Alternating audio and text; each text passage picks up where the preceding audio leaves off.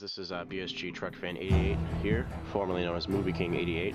Um, I've gotten a couple requests and questions sent to me in my private mailbox, or just comments on videos. Which, by the way, thank you for watching, and I hope you've watched either my From the Earth to the Moon custom soundtrack, which is amazing, or any of my other videos. Um, first and foremost, this is the Nexstar 6 SE um, go-to telescope from Celestron. Um, it's a beginner slash novice telescope. Um, there are numerous sizes. There's a 4 inch, a 5 inch, a 6, and an 8. Um, these are not dedicated telescopes to track things 100%. Um, these are what's considered a go-to scope, where you know you program it, which I'll talk about briefly in a minute, and you you know set up where you are and what you want to look at. So it'll you know you type it in, and, oh Jupiter, and it goes to Jupiter, and it will track it fairly effectively. It's not going to be perfect. Um, there are a lot of variables to keep into play. You know, the Earth is spinning and moving around the sun, so is the planet or the stars and the galaxy. So it's not going to be perfect. It's not like it's a professional telescope. Um, it's this is an advanced telescope. This is not something you buy at Toys R Us. So don't let kids under 13 use this unless you guys aren't really dedicated at taking care of things. But you know, it's not going to track things 100%. It's going to go to the planet or you know, the sun or whatever, the galaxy, and it's going to track it effectively, but after about a half hour, it's going to start to lose its cool. Now, when it comes to planets like Jupiter and Saturn, it'll track them. You might have to play with it a little bit while you're using your scope. You know, that's what these are for, you know. Just slightly move the scope, which I'll get into in a minute. Um, and there you go. It's not like it's going to be, oh, it's going to find the, the, planet and then boom, uh, it's going to lose it. If you're not set up properly, then it will do that. But first and foremost, physical setup. As you can see, I have the telescope here. This is the base, this is the scope. Um, see how you can read Celestron from left to right, top to bottom? That's the way it should be facing. The front of the scope should be going that way. Okay, a lot of times people put it on backwards by accident or they just don't pay attention and the Celestron logo is upside down. So what's going to happen is the scope's going to want to do this. Actually, it would be going the other way, sorry. Um, because the scope wants to point up to go to the sky, but if your telescope's facing the wrong way, going that way, the front of the scope is going to face down, which is obviously wrong. So it's a simple mistake. Um, it only really matters, if you will, on a scope like this. If you have a manual telescope, then obviously it's not going to matter, but just put it on right. Another thing to um, do when you first get your telescope, right away, um, or when you're preparing to go out for the night, you want to make sure that your star pointer is aligned. You know, number one, don't forget to shut it off when you're done using it, but make sure it's aligned, so point the scope at like a, a light or a house or something, something you can identify pretty easily. Obviously when it's daylight or almost dusk, and you can simply, you know, align it with the screw, with the little twisties here, and it should be fine. Uh, make sure you do that first. A lot of people forget about that when they first get their scope. Do that, you know, every couple of times. Obviously just check and make sure things are properly aligned. So that's the physical setup.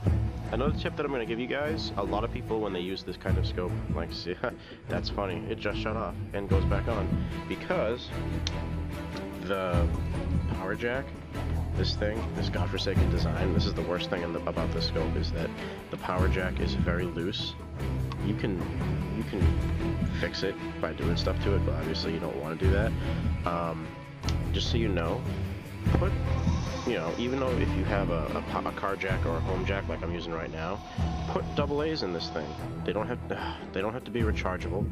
Um, just put double A's in here. So when this unplugs, the unit, the base will stay on. So you won't lose all of your all of your data that you've spent a good 10 minutes putting in. So tip for you, put batteries in here, leave them in there. Um, obviously take them out or take one or two out when you're not using the scope for a while. But if you're going to use it a couple nights in a row, you can leave them in there. Um, so, really quick video on the setup here. Obviously, everybody is different depending on where they live, um, but you're going to have, you know, alignment. Hit enter. Enter. Now, SkyAlign is very easy. SkyAlign, in simple terms, you find three sky stars that are in the sky, or you know, a planet, but preferably stars that are opposite of each other. So, you know, if you're looking at the sky, you know, one over there, one over there, and maybe one behind you the further they are away from each other, the better. And this telescope actually will try and figure out which stars those are, and hopefully it'll be right. But the one that I like to use um, is Auto 2 Star. Or two star line. Auto two star, simply put, you hit enter, enter your time, your your date. We are in daylight savings time right now, by the way. Um, where you are, the date. Um, I like to go a minute ahead. Um, so you pick a star. Now, before I get into this real quick, a program that you guys should have on your phones, on your netbooks, um, on your phone, you should be using Google Sky. Okay, this is an Android phone. This is the Nexus S. You can use Android Sky, or Google Sky, sorry, and you can look up, and it will tell you what's where. For the most part, it's fairly accurate, but I don't use it 100% because on my netbook or on my computer, you have a program called Stellarium, which when you download it and install it, it's working for both Mac, and Mac laptops, and of course Windows-based PCs and laptops and netbooks. It's a real-time look at what your sky looks like, complete 360 degrees at any time of the day or night uh, for the past, well, since uh, whenever. Um, so it's really cool. I can go in and I can zoom in, and at 8:50, I know that Jupiter will be up in the sky. You know, I know that tonight at well, oops, I went too far. You, you, get the idea. It's a great tool to have, especially if you can bring a laptop out with you, which you should anyway, because you should be able to connect the next, the Celestron NexImage camera. That's how I got those pictures of Jupiter, or those videos of Jupiter that you saw. Anyway, you can use this program to look up at the night sky. It's very effective, it's very quick and responsive.